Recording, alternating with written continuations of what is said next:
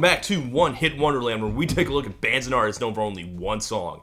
And today I want to listen to some rock and roll. No, damn it, I said some rock and roll. Some real rock and roll. Rock and roll you can blast out of your burnt orange muscle car and let your mullet whip by in the breeze. So today, we're gonna listen to a nice thick slab of southern fried, hard boogieing rock music. With like guitar and everything. Eat that, Imagine Dragons. Couldn't stop moving when it first took hold. It was a whole spring night at the old town hall. There was a Yeah, turn it up. This is the pinnacle of 70s Southern blues mullet boogie rock. Although I guess this song predates mullets by a few years, judging by this man's glorious feathered hair. But yeah, it's the best. Slow Ride, never did it for me. Mississippi Queen, take it or leave it. Smoking in the boys' room, pass. No, for me, the real high point of this genre is rock and roll hoochie koo, the glorious only hit from unfairly forgotten guitar god Rick Derringer.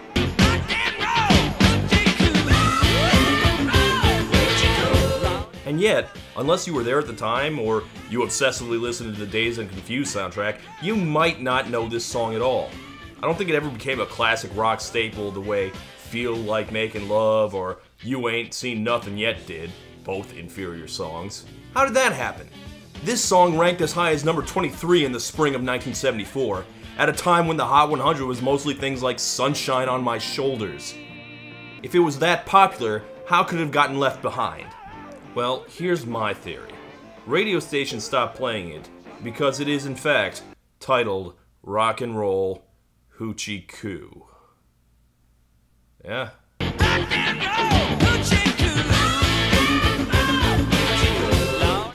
That's, uh, that's a song title, alright. I mean, he's certainly not ashamed of it. They're just belting it out. See, Rick Derringer loved two things rock and roll and hoochie koo, and he combined them into, roll. Um.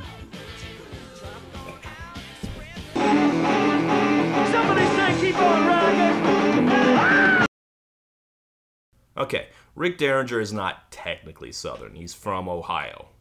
Which is even better. Real rock comes out of the heartland. And he started a band in the early 60s with the all American name The McCoys. And in 1965, when he and his bandmates were still in high school, the McCoys had a monster, massive number one hit, making Derringer the rare double one hit wonder. Maybe I should make this a two part episode. But that's extra work, so screw it. Sloopy lives in a very bad part of town. Anyway, the song is Hang On Sloopy. You probably know it if you remember the 60s, or if you've listened to like any oldies at all, or you went to Ohio State.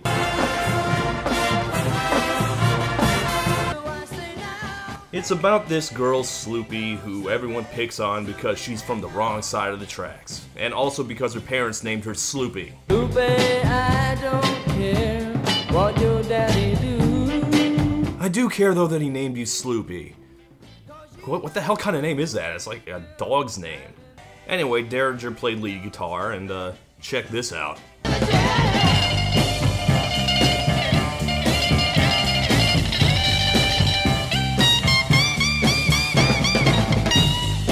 Jeez, slow down, Satriani. That is some serious shred for a pre-Clapton, pre-Hendrix garage song. Most of these bands could barely play at all. If you got the guys who played Wild Thing to try and play this, their fingers would fall off. And here are the McCoys with their latest big hit, Viva! Okay, the McCoys are not technically one-hit wonders because they had a handful of other lesser hits. Like here's their cover of the old Peggy Lee standard Fever. It went to the top 10 and sounds exactly like Hang On Sloopy. Matter of fact, all their songs kind of sounded like Hang On Sloopy. Anyway, after the hits dried up, the band went their separate ways and Derringer joined a new band. You see this weird looking guy right here? This guy is Johnny Winter. Now, his brother Edgar was the only one who ever scored any hits, but Johnny was a blues legend. Dude could play. In fact, he probably didn't need backup at all, but he recruited Derringer to join his new band, Johnny Winter and. That that's it. Just Johnny Winter and. And who? And nobody! You don't get a name! I'm Johnny Winter! You're nothing! I kid, he did a lot of good work for the Winter Brothers. Not only as a sideman, he also produced all of Edgar's big hits.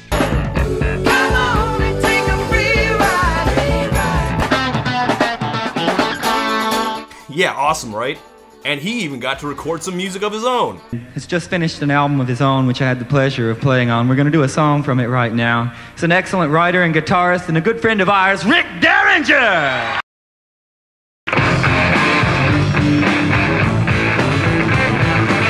I just love the way this song builds. It's like a motorcycle revving up. Couldn't stop moving when it first took hold.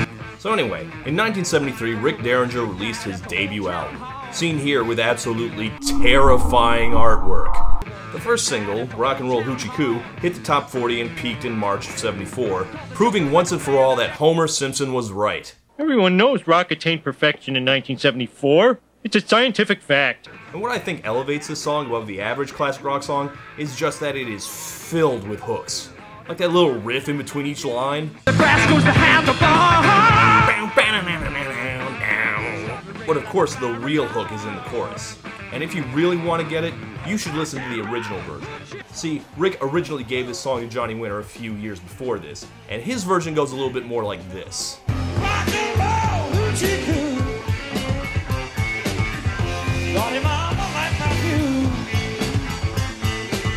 My god, it's barely the same song at all. Where are the backup singers?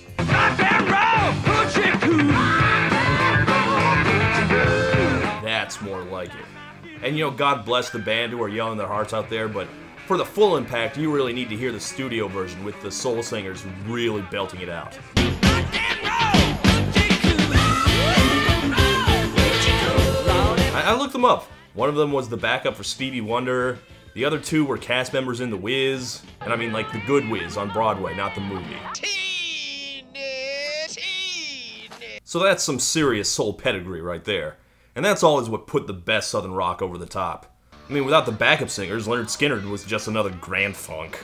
This is an exaggeration. Lay off, Skinner people. But okay, let's get to the big question. What's with that title? Rock and roll, hoochie. I mean, the song is such a glorious celebration of rock music. Why is he pairing rock and roll with the sound you make when you tickle a baby? Is it supposed to be like a rock and roll lullaby song? Which exists, by the way. Okay, look, hoochie koo means sex. I mean, that was probably obvious to a lot of you, but in case you couldn't figure it out, it's old timey blues slang for sex. Rock and roll, giggity giggity. So it might sound a little dumb now, but back in the day, people would have recognized that it meant sex and or electric blues. So, you know what, laugh it up. 60 years from now, YOLO is also gonna sound like baby talk. Wiggle that thing really knocks me out. Now, other than that, the lyrics are a whole mess of classic rock cliches. Which, for the record, were probably not cliches yet at the time.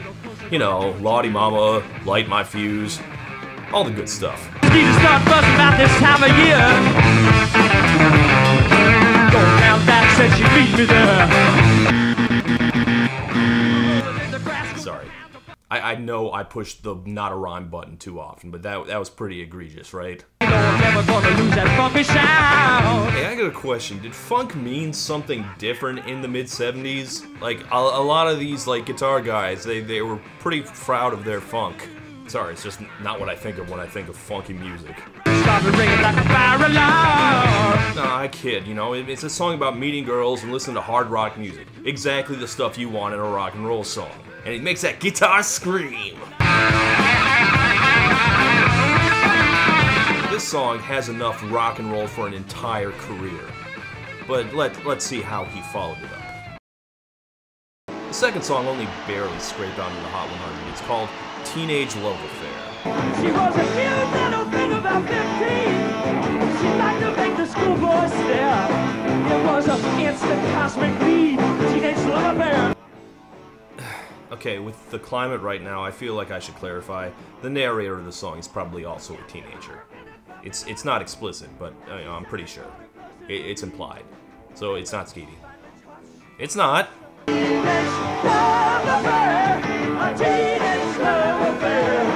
But I don't know. Rock and Roll Hoochie Koo had like a billion hooks. I'm not I'm not seeing a lot in this one. I mean, it's fast and aggressive, but it's not going to set the world on fire. Although, to be fair, there was an alternate theory why the follow-ups never took off. It was because they were from this album. This is not good marketing. This is the worst cover illustration I've ever seen, including the one for this cookbook. But nothing else ever really took off either. The word about him was that he was more of a live act, and his work didn't really translate to the studio. Or to singles for that matter. He only ever released a few, like, separate singles. But here's one of them. It's, um. It's, it's just Hang On Sloopy again. And so I say now, hang on, Sloopy, Sloopy, hang on. Wow, this is so much more annoying than the original. Cheesy organ and, uh. A marimba solo? You're Rick Derringer, man! Where's the guitar? This sounds like the Partridge Family. And Hang On Sloopy was only like 10 years old at that point. It's not like we needed an update at all, let alone a cheesy bubblegum cod reggae version. And he recorded a whole bunch of more stuff. Some with his self-titled band, others solo, but you know, they didn't fly. Especially not when he tried to release singles for the pop market. I'm looking for something warm.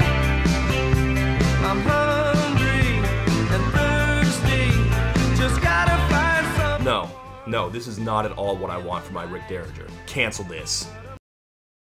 Oh, yes. In fact, I bet a bunch of you do know one Rick Derringer song, and it isn't the hit. And you've just been waiting for it this entire time. Well, let's kick it. Are you ready, brother?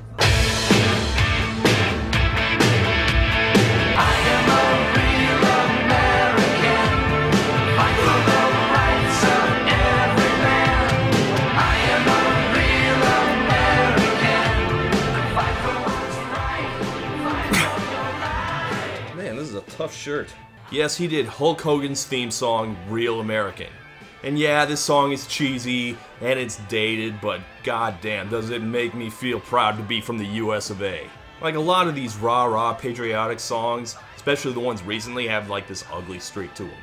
But Real American is just so innocent. It's you know, it's so obviously from the part of the 80s where no one was thinking very hard. Hulkamania's gonna run wild, brother! Uh, and then he became Hollywood Hogan, and an entire generation lost their innocence. But anyway, besides that song, well, you would not believe it. He has had a hand in so much rock music for decades. For example, you know punk legend Patti Smith? Well, apparently him and her are close friends, and she co-wrote some of his songs.